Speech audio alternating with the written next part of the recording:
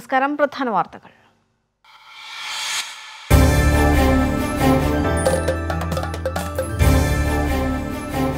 മുഖ്യമന്ത്രി പിണറായി വിജയന്റെ U E സന്ദർശനം തുടരുന്നു. യു ഇ മന്ത്രിമാരുമായി മുഖ്യമന്ത്രി കൂടിക്കാഴ്ച നടത്തി. നാളെ ദുബായിൽ നടക്കുന്ന കൈരളി ടി വി പ്രവാസി അവാർഡ് ദാന ചടങ്ങിൽ മുഖ്യമന്ത്രി പങ്കെടുക്കും.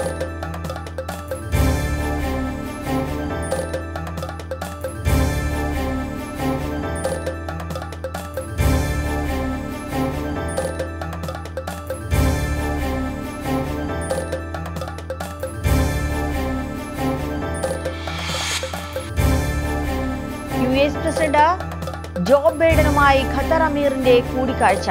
കഴിഞ്ഞ അര പതിറ്റാണ്ടായി ഖത്തറുമായി മികച്ച ബന്ധമെന്നും ഖത്തർ സഖ്യകക്ഷിക്ക് സമാനമെന്നും ജോ ബൈഡൻ. അറബ് മേഖലയിൽ സമാധാനം നിലനിർത്താൻ യു എസ് പ്രതിജ്ഞാബദ്ധമെന്നും ജോ ബൈഡൻ.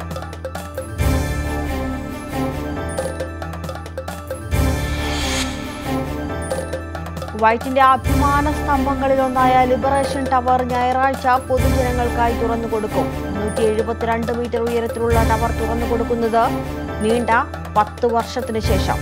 ദേശീയ ദിനാഘോഷങ്ങളുടെ ഭാഗമായി ടവറിലേക്ക് പ്രവേശനം തികച്ചും സൗജന്യം.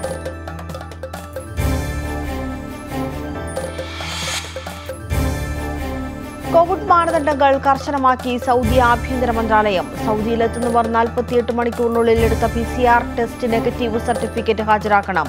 രാജ്യത്തിന് പുറത്തേക്ക് പോകുന്ന സ്വദേശികൾ ബൂസ്റ്റർ ഡോസ് എടുക്കണമെന്നും അധികൃതർ.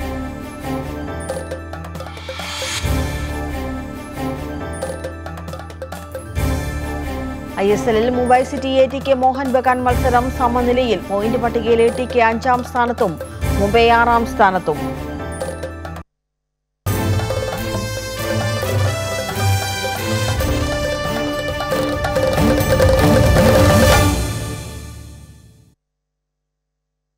മുഖ്യമന്ത്രി പിണറായി വിജയന്റെ യു എ സന്ദർശനം തുടരുന്നു. യു എയിലെ മന്ത്രിമാരുമായി മുഖ്യമന്ത്രി ഇന്ന് കൂടിക്കാഴ്ച നടത്തി. ഊഷ്മളമായ സ്വീകരണമാണ് മുഖ്യമന്ത്രിക്ക് യു എ ഭരണാധികാരികൾ നൽകുന്നത്. നാളെയും മറ്റന്നാളും മുഖ്യമന്ത്രി നിരവധി മീറ്റിംഗുകളിൽ സംബന്ധിക്കും. നാളെ ദുബായിൽ നടക്കുന്ന കൈരളി ടി വി പ്രവാസി അവാർഡ് ദാന ചടങ്ങിൽ മുഖ്യമന്ത്രി സംബന്ധിക്കും. വിശദാംശങ്ങളുമായി ജമാൽ ചേരുന്നുണ്ട്. ജമാൽ ഇന്ന് മുഖ്യമന്ത്രി നടത്തിയ കൂടിക്കാഴ്ചയുടെ വിശദാംശങ്ങൾ ഒപ്പം നാളത്തെ പ്രധാന പരിപാടികൾ കൂടി. സൗമ്യ ഇന്ന് യു എയിലെ രണ്ട് പ്രധാനപ്പെട്ട മന്ത്രിമാരുമായി മുഖ്യമന്ത്രി പിണറായി വിജയൻ കൂടിക്കാഴ്ച നടത്തി. അതിൽ ഒന്ന് പ്രധാനപ്പെട്ടത് യു എ മാനവ വിഭശേഷി സ്വദേശവൽക്കരണ മന്ത്രി doctor Abdul Rahman Abdul Al Mannan al അൽവാറുമായുമാണ് മുഖ്യമന്ത്രി കൂടിക്കാഴ്ച നടത്തിയത്. അതുപോലെ തന്നെ യു എ അന്താരാഷ്ട്ര വ്യാപാര വകുപ്പ് മന്ത്രി doctor Thani bin Ahmed Al സീദുമായും മുഖ്യമന്ത്രി പിണറായി വിജയൻ കൂടിക്കാഴ്ച നടത്തി. വ്യവസായ മന്ത്രി P Rajeev Indian ambassador Sanju Sudhir Abu Dhabi chamber vice chairman M A Yusuffali John Prasad M P Muhammad Haneesh I S എന്നിവരും ഈ കൂടിക്കാഴ്ചയിൽ സംബന്ധിച്ചു. വളരെ സുപ്രധാനമായ കൂടിക്കാഴ്ചകളായിരുന്നു ഇന്ന് ഉണ്ടായത്. ഇന്നലെയും വളരെ ഊഷ്മളമായ സ്വീകരണമാണ് മുഖ്യമന്ത്രിക്ക് ഇന്നലെ എക്സ്പോ വേദിയിൽ ലഭിച്ചത്. യു എയുടെ പ്രധാനമന്ത്രിയും വൈസ് പ്രസിഡന്റും ദുബായ് ഭരണാധികാരിയുമായ ഷെയ്ഖ് മുഹമ്മദ് ബിൻ റാഷിദ് അലക്സും നേരിട്ട് വന്ന് മുഖ്യമന്ത്രിയെ സ്വീകരിച്ചിരുന്നു. തീർച്ചയായും പ്രവാസി മലയാളികൾക്ക് ആകെ അഭിമാനമാകുന്ന തരത്തിലുള്ള ഉജ്ജ്വലമായ സ്വീകരണമാണ് മുഖ്യമന്ത്രിക്ക് യു എയിൽ ലഭിച്ചുകൊണ്ടിരിക്കുന്നത്. നാളെയും മറ്റന്നാളും മുഖ്യമന്ത്രി നിരവധി പരിപാടികൾ സംബന്ധിക്കുന്നുണ്ട്. അതിൽ ഏറ്റവും പ്രധാനപ്പെട്ടത് രാവിലെ പത്തര മണിക്ക് ദുബായിൽ കൈരളി ടി വി സംഘടിപ്പിക്കുന്ന N R I business award ദാന ചടങ്ങും അതുപോലെ തന്നെ U A E health professional award ദാന ചടങ്ങുമുണ്ട്.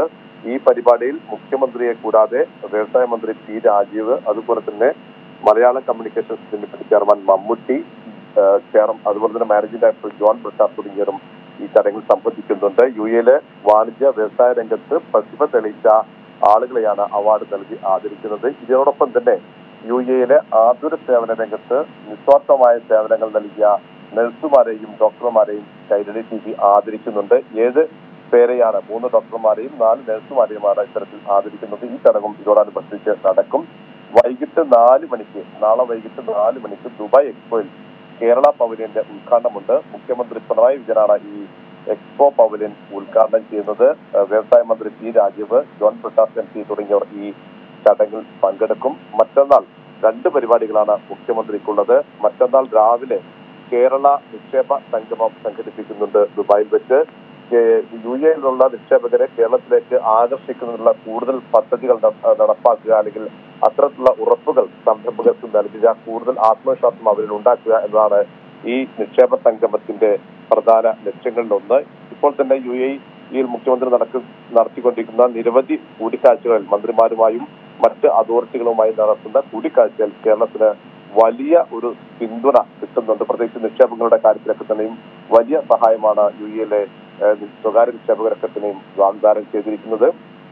മറ്റന്നാൾ ദുബായ് അൽനാസർ ലിഷർലാൻഡിൽ വെച്ച് യു എയിലെ ഇന്ത്യൻ സമൂഹം മുഖ്യമന്ത്രിക്ക് സ്വീകരണം നൽകിയാണ്. നോർക്കയുടെ നോർക്ക കെയർ ഫോർ കേരളയുടെ നേതൃത്വത്തിലാണ് മുഖ്യമന്ത്രിക്ക് യു എ സമൂഹം യു എയിലെ മലയാളി സമൂഹം സ്വീകരണം നൽകുന്നത്. അഞ്ചാം തീയതിയോടുകൂടി മുഖ്യമന്ത്രിയുടെ യു എ സന്ദർശനം സമാപിക്കും.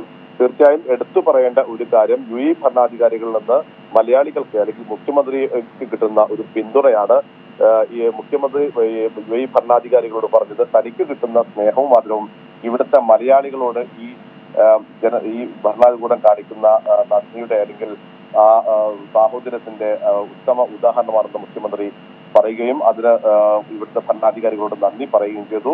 ഭരണാധികാരികൾ മുഖ്യമന്ത്രിയോട് പറഞ്ഞത് ഈ രാജ്യത്തിന്റെ നിർമ്മാണത്തിൽ ഈ രാജ്യത്തിന്റെ വികസനത്തിൽ മലയാളി സമൂഹത്തിന് വലിയൊരു പങ്കുണ്ട്. അത് ഞങ്ങൾ മാനിക്കുന്നു എന്ന് പറയുന്നു. അതോടൊപ്പം തന്നെ കേരളത്തിന് കേരളത്തിന്റെ വികസനത്തിൽ യു എക്ക് ആകാൻ കഴിയുന്ന തരത്തിലുള്ള സഹായങ്ങളൊക്കെ തന്നെ ചെയ്യും. നിക്ഷേപങ്ങളുടെ കാര്യത്തിലും വലിയ സഹായമുണ്ടാകും എന്നും യു എ ഭരണാധികാരികളും അതുപോലെ തന്നെ സ്വകാര്യ നിക്ഷേപകരും കേരളത്തിന് വാഗ്ദാനം ചെയ്തിട്ടുണ്ട്.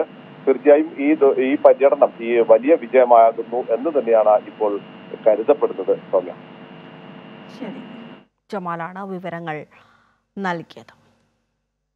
Qatar emir Sheikh Tamim bin Hamad Al Thani American president Joe ബൈഡനുമായി കൂടിക്കാഴ്ച നടത്തി. ഇരു രാജ്യങ്ങൾക്കുമിടയിലെ നയതന്ത്ര ബന്ധങ്ങൾക്ക് ശക്തി പകരുന്ന നടപടികളാണ് യോഗത്തിൽ ചർച്ച ചെയ്തത്. കഴിഞ്ഞ അൻപത് വർഷമായി ഖത്തറുമായി മികച്ച ബന്ധമാണ് അമേരിക്ക കാത്തുസൂക്ഷിക്കുന്നതെന്നും ഖത്തർ സഖ്യകക്ഷിക്ക് സമാനമാണെന്നുമാണ് ബൈഡന്റെ ബൈഡൻ അഭിപ്രായപ്പെട്ടത് അഫ്ഗാനിലെ ജനങ്ങൾക്ക് വേണ്ടി സ്വീകരിക്കേണ്ട നയങ്ങൾ അന്താരാഷ്ട്ര തലത്തിലെ ഇന്ധന വിതരണം എന്നിവയും ചർച്ചയുടെ ഭാഗമായി.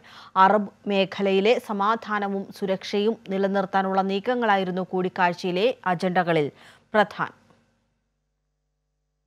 കുവൈറ്റിന്റെ അഭിമാന സ്തംഭങ്ങളിലൊന്നായ ലിബറേഷൻ ടവർ ഈ മാസം ആറിന് പൊതുജനങ്ങൾക്കായി തുറന്നുകൊടുക്കും. പത്ത് വർഷത്തിനു ശേഷമാണ് ടവർ വിനോദസഞ്ചാരികൾക്കും പൊതുജനങ്ങൾക്കുമായി തുറന്നുകൊടുക്കുന്നത്. ദേശീയ ദിനാഘോഷങ്ങളുടെ ഭാഗമായി സൗജന്യമായിട്ടായിരിക്കും ടവറിലേക്ക് പ്രവേശനം അനുവദിക്കുക. രാവിലെ ഒൻപത് മണി മുതൽ ഒരു മണിവരെ സ്കൂൾ വിദ്യാർത്ഥികൾക്കും വൈകുന്നേരം മൂന്ന് മണി മുതൽ ഒൻപത് മണിവരെ മുതിർന്നവർക്കും എന്ന രീതിയിലാണ് സമയക്രമം നിശ്ചയിച്ചിരിക്കുന്നത്. മുന്നൂറ്റി എഴുപത്തിരണ്ട് മീറ്റർ ഉയരത്തിൽ സ്ഥിതി ചെയ്യുന്ന ടവറിന്റെ നൂറ്റി അൻപതാമത്തെ നിലയിൽ നിന്നും കുവൈറ്റ് സിറ്റിയും പരിസര പ്രദേശങ്ങളും വീക്ഷിക്കാൻ സന്ദർശകർക്ക് കഴിയുമെന്നും അധികൃതർ വ്യക്തമാക്കി. സുരക്ഷാ കാരണങ്ങളാൽ കഴിഞ്ഞ പത്ത് വർഷമായി അടച്ചിട്ടിരിക്കുകയായിരുന്ന ടവറിന്റെ വിവിധ നിലകളിൽ മന്ത്രാലയത്തിന്റെ പ്രവർത്തനങ്ങൾ പ്രതിപാദിക്കുന്ന ചരിത്രരേഖകളും പഴയ ഉപകരണങ്ങളും സന്ദർശകർക്ക് വേണ്ടി പ്രദർശിപ്പിക്കുമെന്നും അധികൃതർ അറിയിച്ചു.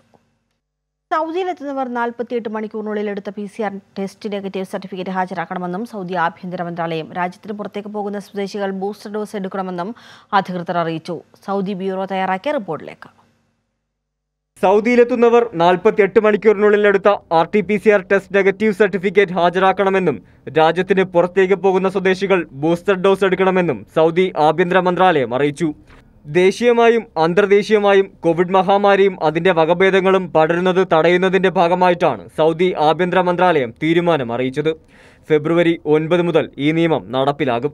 രാജ്യത്തിന് പുറത്തു പോകാൻ ഉദ്ദേശിക്കുന്ന സ്വദേശി പൗരന്മാർ രണ്ടാമത്തെ ഡോസ് സ്വീകരിച്ച് മൂന്ന് മാസം പൂർത്തിയായവരാണെങ്കിൽ ബൂസ്റ്റർ ഡോസ് എടുക്കണമെന്ന് അധികൃതർ അറിയിച്ചു. എല്ലാവരും മുൻകരുതൽ നടപടികളും പ്രതിരോധ നടപടികളും അംഗീകൃത ആരോഗ്യ പ്രോട്ടോക്കോളും പാലിക്കണമെന്നും അധികൃതർ ആവർത്തിച്ചാവശ്യപ്പെട്ടു ന്യൂസ് ബ്യൂറോ സൗദി കുവൈറ്റിന്റെ അഭിമാന സ്തംഭങ്ങളിലൊന്നായ ലിബറേഷൻ ടവർ ഈ മാസം ആറിന് പൊതുജനങ്ങൾക്കായി തുറന്നു കൊടുക്കും. പത്ത് വർഷത്തിന് ശേഷമാണ് ടവർ വിനോദസഞ്ചാരികൾക്കും പൊതുജനങ്ങൾക്കുമായി തുറന്നു കൊടുക്കുന്നത്. ദേശീയ ദിനാഘോഷങ്ങളുടെ ഭാഗമായി സൗജന്യമായിട്ടായിരിക്കും ടവറിലേക്ക് പ്രവേശനം അനുവദിക്കുക. രാവിലെ ഒൻപത് മുതൽ ഒരു മണിവരെ സ്കൂൾ വിദ്യാർത്ഥികൾക്കും വൈകുന്നേരം മൂന്ന് മണി മുതൽ ഒൻപത് മണിവരെ മുതിർന്നവർക്കും എന്ന രീതിയിലാണ് സമയക്രമം നിശ്ചയിച്ചിരിക്കുന്നത്. മുന്നൂറ്റി എഴുപത്തിരണ്ട് മീറ്റർ ഉയരത്തിൽ സ്ഥിതി ചെയ്യുന്ന ടവറിന്റെ നൂറ്റി അൻപതാമത്തെ നിലയിൽ നിന്നും കുവൈറ്റ് സിറ്റിയും പരിസര പ്രദേശങ്ങളും വീക്ഷിക്കാൻ സന്ദർശകർക്ക് കഴിയുമെന്നും അധികൃതർ വ്യക്തമാക്കി. സുരക്ഷാ കാരണങ്ങളാൽ കഴിഞ്ഞ പത്ത് വർഷമായി അടച്ചിട്ടിരിക്കുകയായിരുന്ന ടവറിന്റെ വിവിധ നിലകളിൽ മന്ത്രാലയത്തിന്റെ പ്രവർത്തനങ്ങൾ പ്രതിപാദിക്കുന്ന ചരിത്ര രേഖകളും പഴയ ഉപകരണങ്ങളും സന്ദർശകർക്ക് വേണ്ടി പ്രദർശിപ്പിക്കുമെന്നും അധികൃതർ അറിയിച്ചു.